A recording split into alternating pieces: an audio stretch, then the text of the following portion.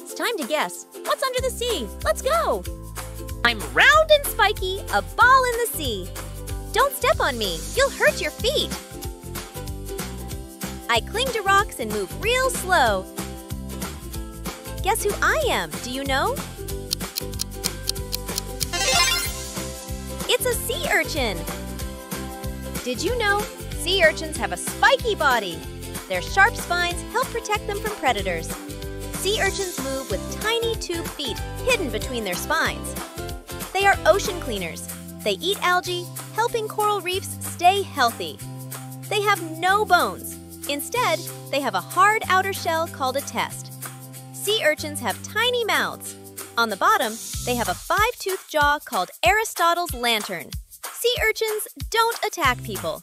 The only way to get hurt is usually by accidentally touching or stepping on them, so it's best to stay away. You did great, Ocean Explorer!